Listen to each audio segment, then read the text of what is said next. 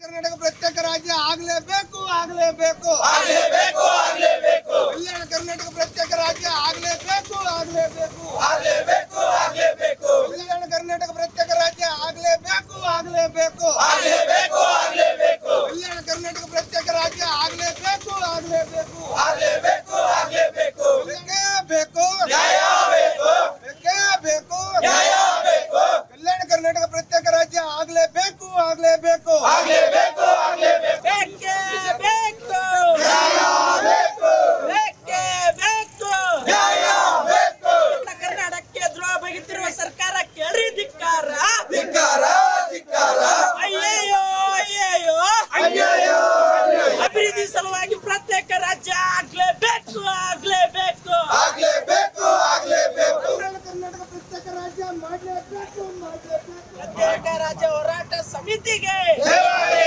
ಪ್ರತ್ಯೇಕ ರಾಜ್ಯ ಹೋರಾಟ ಸಮಿತಿಗೆ. ಜಯವಾಗಲಿ. ಕಲ್ಯಾಣ ಕರ್ನಾಟಕಕ್ಕೆ. ಜಯವಾಗಲಿ. ಕರ್ನಾಟಕ ಪ್ರದೇಶ ಅಂದ್ರೆ ಹಿಂದುಳಿದ ಪ್ರದೇಶ ಅಂತೇಳಿ ಮುನ್ನೂರ ಎಪ್ಪತ್ತೊಂದು ಕಲಂ ತಿದ್ದುಪಡಿ ಆದರೂ ಕೂಡ ಇವತ್ತು ದಿವಸ ಅದನ್ನು ಸಂಪೂರ್ಣವಾಗಿ ಜಾರಿ ಮಾಡುವಲ್ಲಿ ಸರ್ಕಾರ ಸಂಪೂರ್ಣ ವಿಫಲವಾಗಿದೆ. ಈ ಭಾಗದ ಜನಪ್ರತಿನಿಧಿಗಳು ಕೂಡ ಅದರ ನಿರ್ಲಕ್ಷ್ಯ ವಹಿಸ್ತಾ ಇದ್ದಾರೆ. ಅದಕ್ಕೆ ಶ್ರಮಿಸಬೇಕಾಗಿರ್ತಕ್ಕಂಥವ್ರು ನಿರ್ಲಕ್ಷ್ಯ ವಹಿಸ್ತಾರೆ. ಇದನ್ನು ಖಂಡನೆ ಮಾಡ್ತಾ ಇದ್ದೇವೆ. ಅದರ ಜೊತೆಗೆ ನಮ್ಮ ಪ್ರದೇಶದ ಅಭಿವೃದ್ಧಿ ಮಂಡಳಿಗೆ ಬಂದಿರತಕ್ಕಂಥ ಹಣವನ್ನು ಮತ್ತೊಂದು ಜಿಲ್ಲೆಗೆ ಅಭಿವೃದ್ಧಿಗೆ ನೀಡ್ತಾರೆ ಅಂತಂದ್ರೆ ಇದು ಹಿಂದುಳಿದ ಪ್ರದೇಶ ಕಲ್ಯಾಣ ಕರ್ನಾಟಕ ಮತ್ತಷ್ಟು ಹಿಂದುಳಿಲಿ ಅಂತಕ್ಕಂಥ ಮುಂದುವರಿಬಾರ್ದು ಅಂತಕ್ಕಂಥ ದುರುದ್ದೇಶ ಈ ಒಂದು ಈ ಕುತಂತ್ರದಲ್ಲಿ ಅಡಗಿದೆ.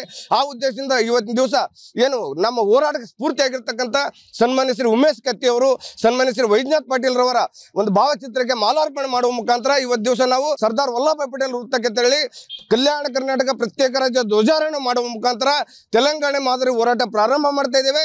ಯಾಕಂತಂದ್ರೆ ಇವತ್ತು ದಿವಸ ನಮ್ಮ ಭಾಗದಲ್ಲಿ ಅಭಿವೃದ್ಧಿ ಆಗಬೇಕು ಆಗ್ತಾ ಇಲ್ಲ ಬಜೆಟ್ ಬರ್ಬೇಕು ಬರ್ತಾ ಇಲ್ಲ.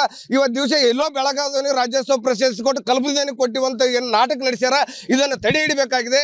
ನಮ್ಮ ಕಲಬುರಗಿಯಲ್ಲಿ ಕೂಡ ದೊಡ್ಡ ದೊಡ್ಡ ಕಲಾವಿದರು ಇದ್ದಾರೆ, ಸಾಹಿತಿಗಳಿದ್ದಾರೆ, ಮಾಧ್ಯಮ ಎಲ್ಲ ಕ್ಷೇತ್ರದಲ್ಲಿ ಸಾಧನೆ ಮಾಡಿದವರಿದ್ರು ಕೂಡ ಎಲ್ಲ ನೆಪಕ್ಕೆ ಮಾತ್ರ ಒಂದೊಂದು ಜಿಲ್ಲೆಗೆ ಒಂದು ಕೊಟ್ಟು ಆ ಪ್ರಶಸ್ತಿ ತೆಗೆದ್ರೆ ಬೆಂಗಳೂರು, ಮೈಸೂರೇ ಕಾಣ್ತಾವ. ಅಂದ್ರೆ ಈ ಭಾಗದಾಗೆ ನಾವು ದಡ್ಡರ ಎಲ್ಲರೂ ಅಂತಕ್ಕಂಥದ್ದು ಚಿಂತನೆ ಮಾಡಬೇಕು ಮಂಥನ ಮಾಡಬೇಕಾಗಿದೆ. ಆ ದೃಷ್ಟಿಯಿಂದ ಕಲ್ಯಾಣ ಕರ್ನಾಟಕ ಕಲಬುರಗಿ ಕೇಂದ್ರ ಸ್ಥಾನ ಆದ್ರೆ ನಮ್ಮ ಪ್ರದೇಶದ ರಾಜ್ಯೋತ್ಸವ ಪ್ರಶಸ್ತಿ ಯಾರು ಸಾಧಕರನ್ನ ಕೊಡ್ಲಕ್ಕೆ ಅನುಕೂಲ ಆಗ್ತದ? ಸಾಧಕರನ್ನ ಗುರುಸಲಕ್ಕೆ ಅನುಕೂಲ ಆಗ್ತದ? ಅಭಿವೃದ್ಧಿ ಆಗ್ತದ? ಈ ಭಾಗದಾಗ ಎಷ್ಟು ಪೊಲೀಸ್ ಅಧಿಕಾರಿಗಳು ಕೂಡ ಅನ್ಯಾಯ ಆಗ್ತಾ ಇದೆ.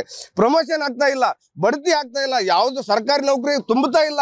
ಇವೆಲ್ಲವನ್ನ ನೋಡಿ ನಾವು ಪ್ರತ್ಯೇಕ ರಾಜ್ಯ ಆದ್ರೆ ನಮಗೆ ಅನುಕೂಲ ಆಗ್ತದೆ ಅಂತ ತಿಳಿದು ಇವತ್ತು ಪ್ರತ್ಯೇಕ ರಾಜ್ಯ ಧ್ವಜಾರೋಹಣ ಮಾಡ್ತಾ ಇದ್ದೇವೆ. ಇವತ್ತು ರೋಡಿನ ಮೇಲೆ ಹೋರಾಟ ಮಾಡ್ತಾ ಇದ್ದೇವೆ. ಮುಂಬರುವ ಚುನಾವಣೆಯಲ್ಲಿ ಕಲ್ಯಾಣ ಕರ್ನಾಟಕದ ಎಲ್ಲ ಮತಕ್ಷೇತ್ರಗಳಲ್ಲಿ ಅಸೆಂಬ್ಲಿಯಲ್ಲಿ ಮ- ಕಲ್ಯಾಣ ಕರ್ನಾಟಕ ಅಭಿವೃದ್ಧಿಗೆ ನಿಮ್ಮ ಮತ ಕೊಡಿ ಅಂತೇಳಿ ಅಭ್ಯರ್ಥಿಗಳೆಲ್ಲ ನಮ್ಮ ಹೋರಾಟ ಸಮಿತಿ ವತಿಯಿಂದ ನಿಂದಿಸ್ತೇವೆ ಕಲ್ಯಾಣ ಕರ್ನಾಟಕ ಪ್ರತ್ಯೇಕ ರಾಜ್ಯ ಹೋರಾಟ ಸಮಿತಿಯಿಂದ ಅಭ್ಯರ್ಥಿಗಳನ್ನ ಹಾಕಿ ವಿಧಾನಸೌಧದಲ್ಲಿ ಮುಂದಿನ ಬಾರಿ ನಾವು ಹೋರಾಟ ಪ್ರಾರಂಭ ಮಾಡ್ತೇವೆ ಅಂತ ಎಚ್ಚರಿಕೆಯನ್ನು ತಮ್ಮ ಮಾಧ್ಯಮದ ಮುಖಾಂತರ ಸರ್ಕಾರಕ್ಕೆ ನೀಡ್ತಾ ಇದೆ ಕಲ್ಯಾಣ ಕರ್ನಾಟಕ ಪ್ರತ್ಯೇಕ ರಾಜ್ಯ ಆಗ್ಲೇಬೇಕು ಆಗ್ಲೇಬೇಕು. ಆಗ್ಲೇಬೇಕು ಆಗ್ಲೇಬೇಕು. ಕಲ್ಯಾಣ ಕರ್ನಾಟಕ ಪ್ರತ್ಯೇಕ ರಾಜ್ಯ ಮಾಡ್ಲೇಬೇಕು ಮಾಡ್ಲೇಬೇಕು.